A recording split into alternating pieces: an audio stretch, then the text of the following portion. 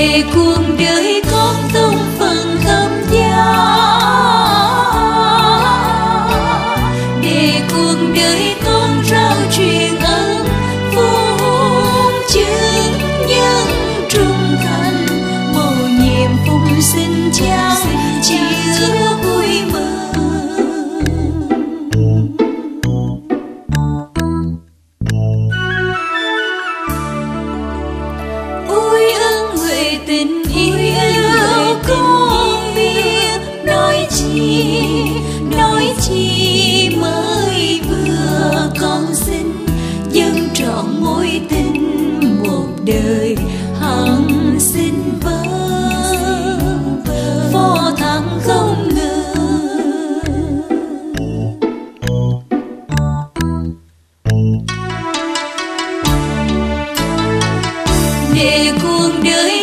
con như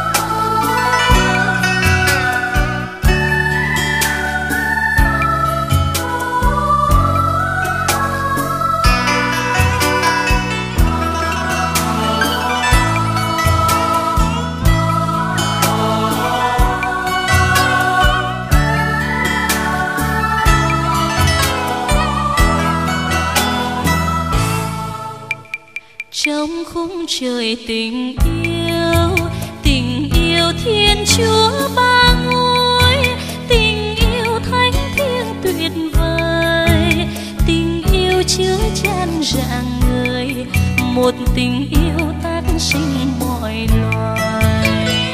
Chúa đã dựng nên con, ban chứa chan muôn vạn ân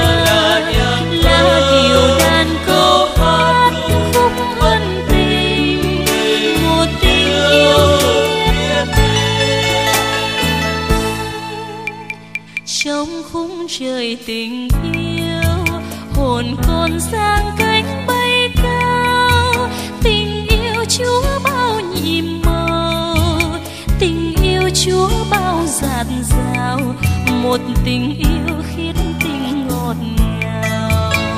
Như chim hạc thả hương, dương cánh bay phiêu dạt theo gió. Một đời nao nức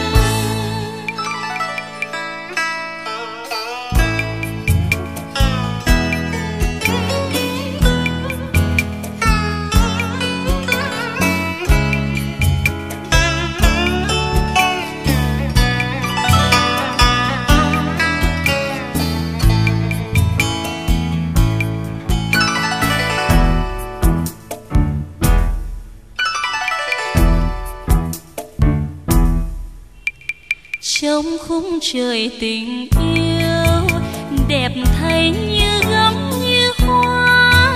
Đời con trở nên hiền hòa, tình ca thiết tha đậm đà, vì tình yêu chúa luôn mặn mà.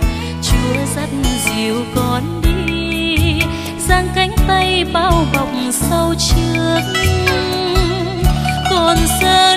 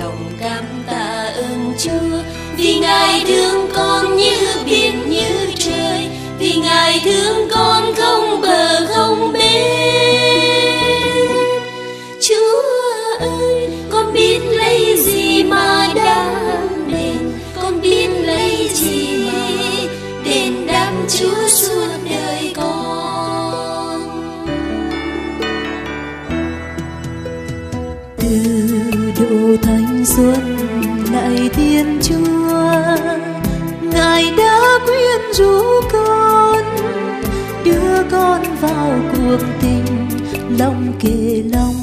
Chúa và con, ôi ơn huệ tình yêu tuyệt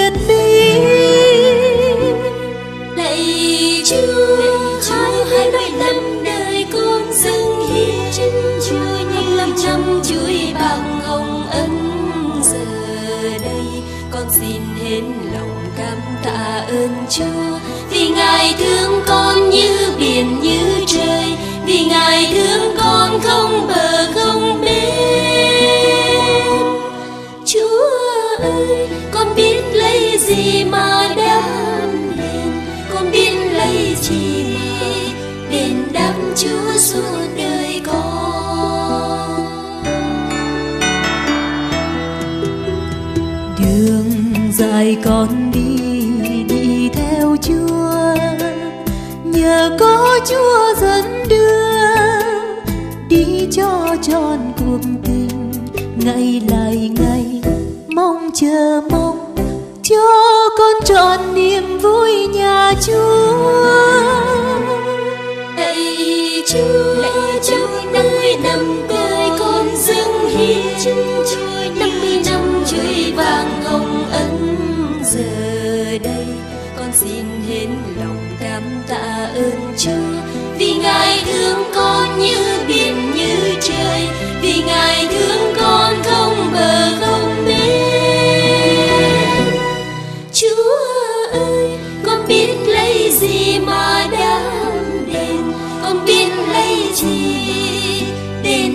Chúa suốt đời con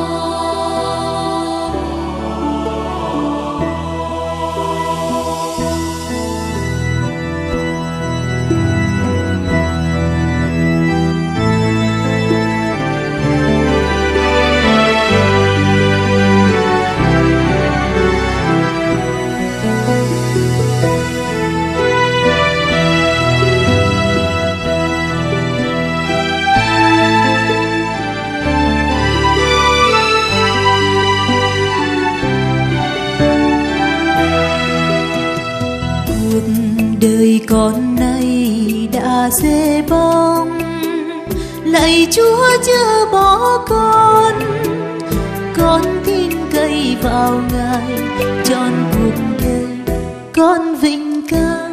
Kính dâng ngài tình yêu tuyệt mỹ lạy Chúa lạy Chúa mươi năm đời con dâng hiến Chúa. Mươi năm chuỗi ngọc hồng ân giờ đây. Con xin hết Ngài thương con như biển như trời vì Ngài thương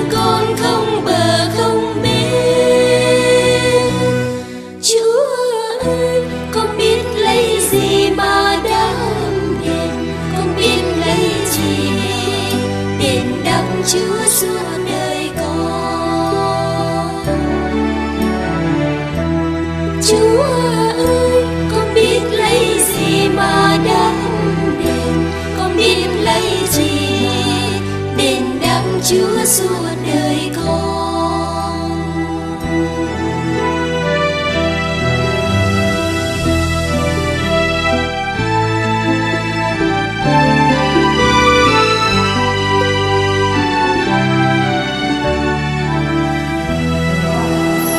Lời Chúa trong thư gửi cho ông Timothy. Tôi biết tôi đã tin vào anh Là lời bộc bạch và tuyên xưng của Thánh vào một tin Chúa tình yêu. Đó cũng là cây tâm niệm mà các nữ tu bên côi đã chọn cho mình trong ngày lễ tuyên khấn hôm nay. Một lễ khấn được diễn ra trong năm đức tin và bầu khí hôm nay là bầu khí trang trọng, trang chứa niềm vui của đức tin. Bởi lẽ chính trong đức tin mà hôm nay chúng ta được mời gọi quy tụ nơi đây để hiệp dâng thi lễ tạ ơn hồng ân thánh hiến. Chính bởi đức tin mà hôm nay các chị em tuyên khấn đã khám phá ra tiếng gọi của Thiên Chúa dành cho mình. Và cũng chính trong đức tin mà các chị đã quảng đài đáp lại lời Thiên Chúa kêu gọi bằng việc tuyên khấn sống khiết tình khó nghèo và vâng phục. Vì thế, chúng ta cử hành thánh lễ giờ đây như một lễ tế tạ ơn trong niềm vui và cầu mong cho niềm vui hôm nay được tiếp tục lớn lên, được tiếp tục phát triển trong đời sống đức tin của mỗi người chúng ta, cũng như đời sống thánh hiến của các chị em mất côi. Trong tâm tình tạ ơn vì hồng ân đức tin đó, cộng đoàn chúng ta cùng chung chia niềm vui mừng với hội dòng mất côi. Xin hiệp lời cầu nguyện cách đặc biệt cho các chị em tuyên khấn và các chị mừng ngân khánh kim khánh hôm nay được luôn xác tín vào lòng nhân hậu và tình thương Chúa, mãi mãi trung thành với sứ vụ loan báo tin mừng. Luôn can đảm vững bước trên hành trình hiến dâng phục vụ, hầu mang lại hoa trái dồi dào trong vườn nho của Chúa.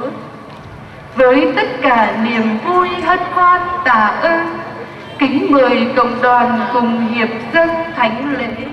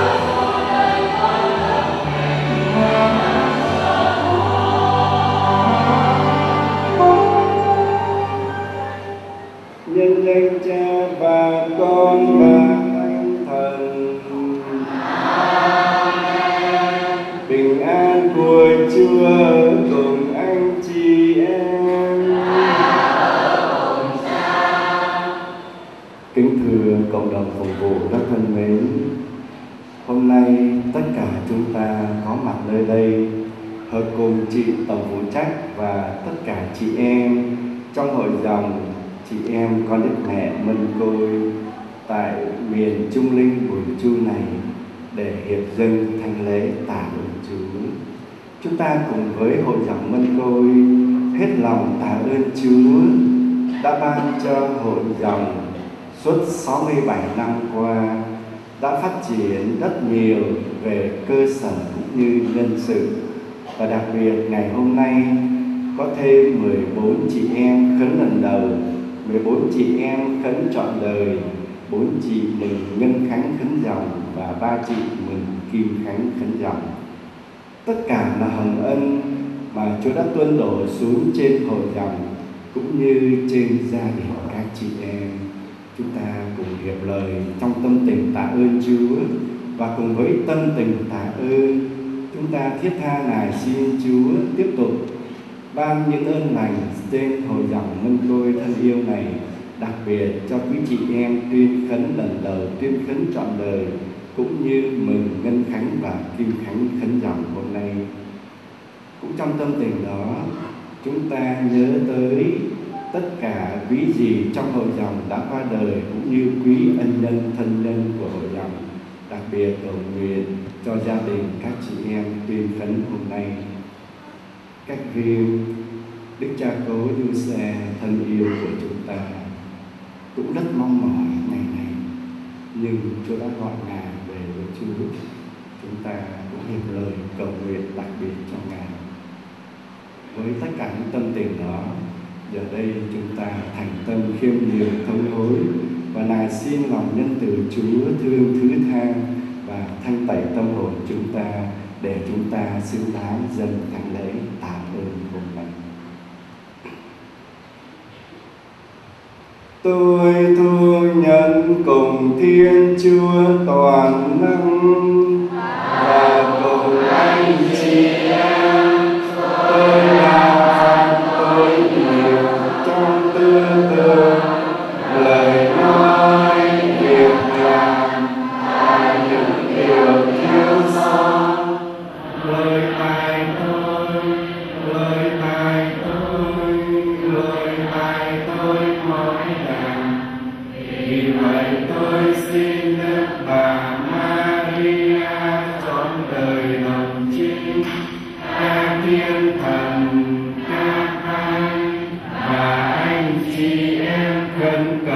Cha tôi chưa tòa thiên chúa chúa chúng ta Xin Thiên Chúa toàn năng thương xót tha tội và dần đưa chúng ta đến sự sống muôn đời. Chúng ta dâng lời cầu nguyện. Lạy Chúa, đã muốn cho hồng ân vi tinh thanh tẩy khơi dậy trong tâm hồn các tu sĩ sắp tuyên khấn đây chỉ nguyện theo chân Đức Kitô và gắn bó với người. Xin ban ơn cho họ sống theo tin mừng cách quyết liệt hơn, hầu làm cho giáo hội ngày càng thăng tiến và hăng say làm việc tông đồ. Chúng con cầu xin nhờ Đức Giêsu Kitô con Chúa là Thiên Chúa và là Chúa chúng con, người hàng sống và hiên trí cùng Chúa trong sự hiệp nhân của Chúa Thánh Thần đến muôn đời.